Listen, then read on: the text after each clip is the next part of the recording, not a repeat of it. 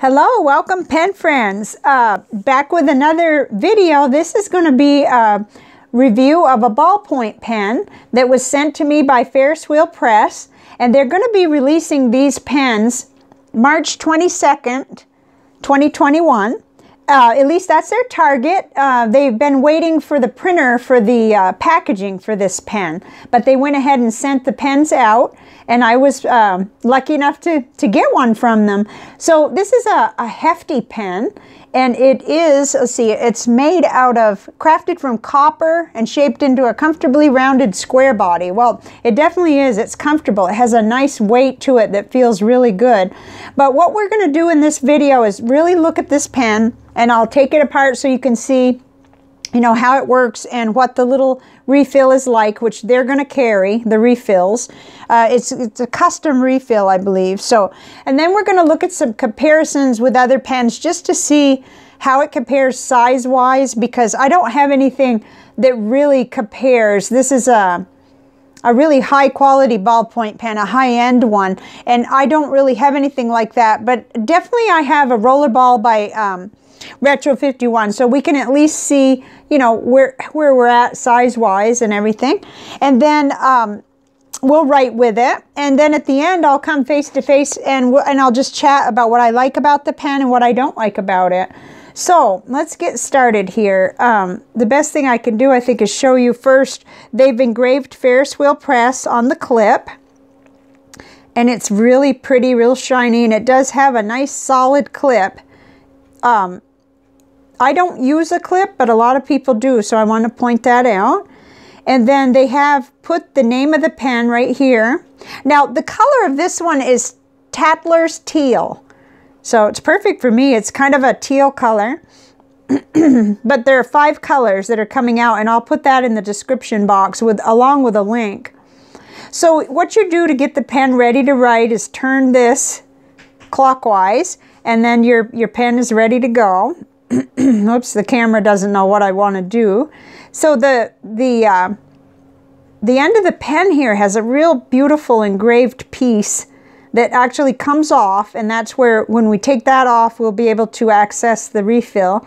And it has a a loop. I guess you could put it on a lanyard. I don't know if that's the plan or not but this is an engraved piece here.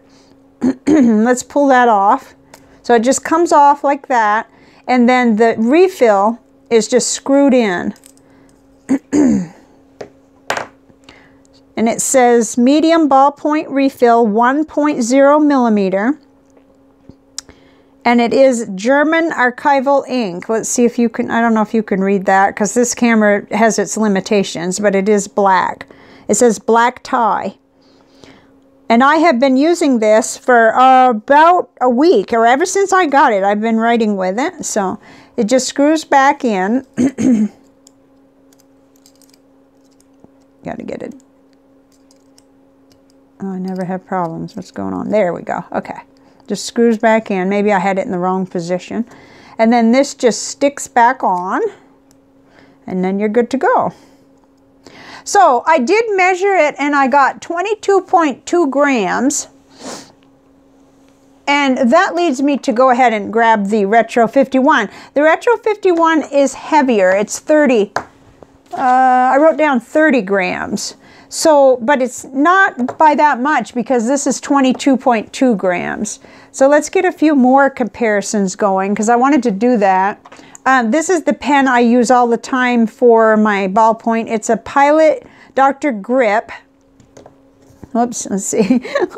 okay, I haven't done a pen review of any type in a while, and I've got a new sort of thing I'm trying here for the set. Okay, this is a Papermate Inkjoy, which is a 1.0 uh, also. Um, I have a little trouble with this with a little bit of glopping of the ink. So I can use this for some things, but I have to kind of keep a tissue handy to wipe it off. It's a cheaper pen. I, I really greatly prefer the Dr. Grip refills to this Inkjoy. And then this is a uh, Pocket pen, which just kind of posts like this. Uh, and these are, are different. The, these, uh, uh, it takes a lot more pressure. It's still nice. It's still a nice pen, but it's more of a pocket pen just for jotting for groceries. But I wanted you to see kind of how they compare. And then here is a fountain pen, a Lamy AL-star. Um, let's put it on the other side so it's closer to our Ferris wheel press. It's similar in length, but uh, you can't really compare the two. Okay, so those are just comparisons kind of to get an idea. This is a very slim pen. I measured it at 9.27 millimeters, and I'll try to put that, you know, as a, a little tag on this video and also in the description box. I'm not used to all these new finagle things that I can do. So there's the comparisons. Um, it is weighty. It's much more similar to, to the Retro 51 in weight of course, and, and the details, the, the beautiful details, and also price range. So these two are, are quite compatible price range wise. My understanding is this will be $58 um, US and uh, 63 Canadian dollars. So it is a high-end pen uh, to me. Uh, people who collect ballpoint pens will have to clue us in on this because I don't. I collect fountain pens, so Okay, so let's see. We've done the comparisons. Let's write with the pen, and we'll keep our others handy too. Um, I have gotten out my little, well, I have a grocery list paper, and I also have this little uh. Oh, I can't pronounce that. Oh, please don't. yeah.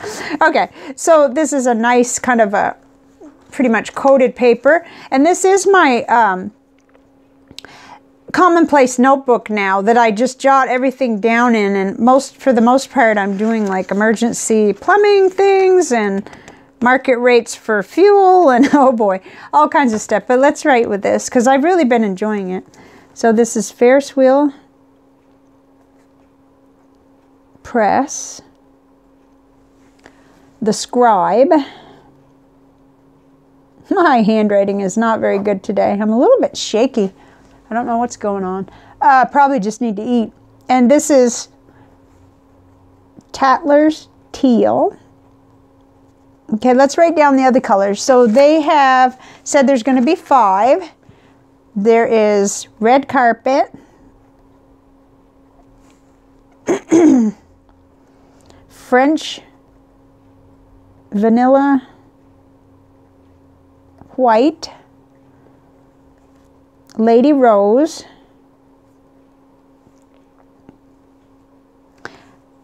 Forget Me Not French Blue, okay. Forget Me Not French Blue. And of course, there's the Tattler's Teal, which is this one. And I really like the color that they chose for me. It's very pretty. Um, let's see.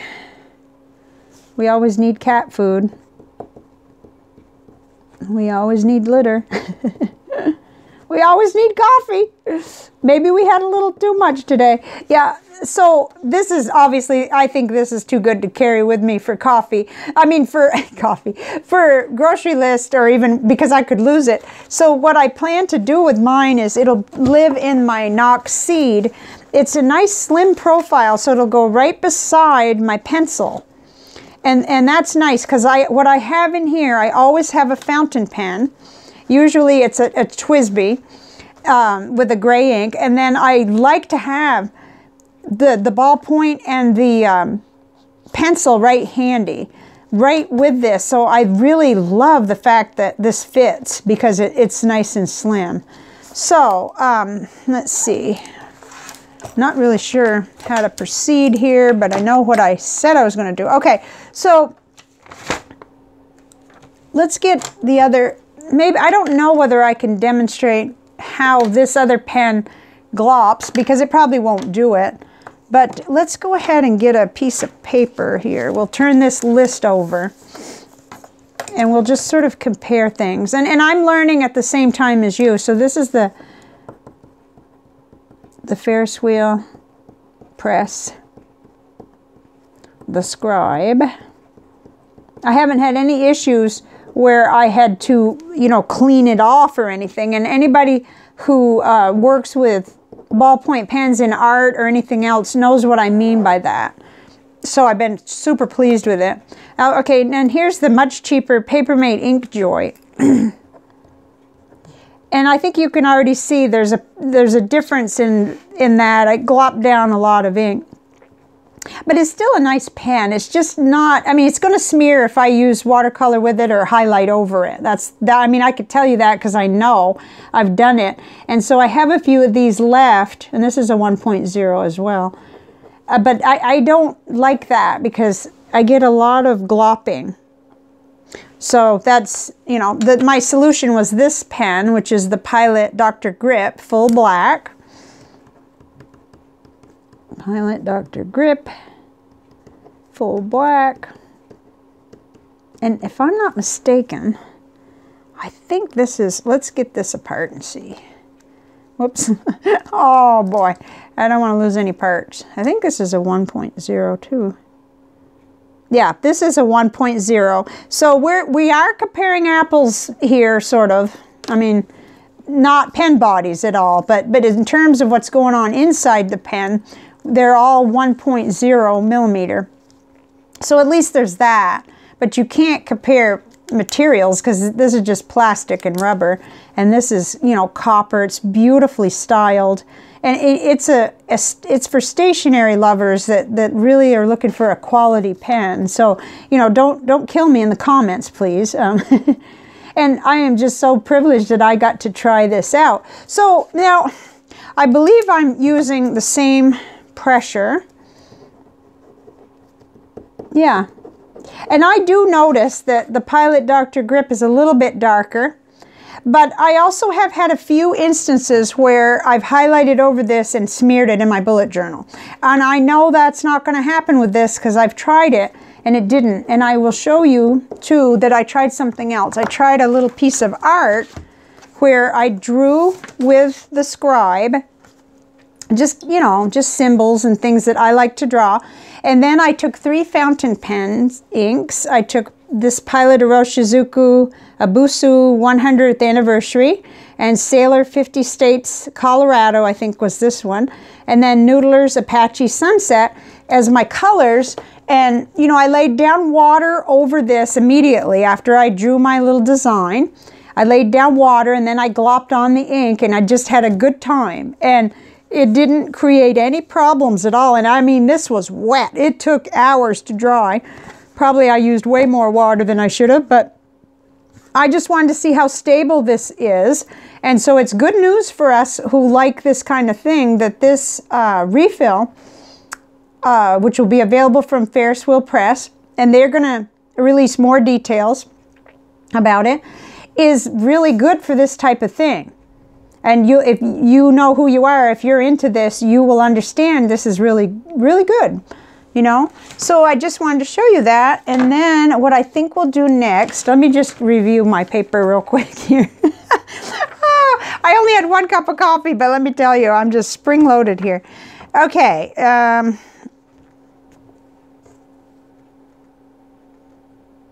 it says Ferris Wheel Press's iconic hex hexagonal um, shape is carried out in the most stunning detail of the pen, the brass crown. And it is, it's, it's really impressive. I like it.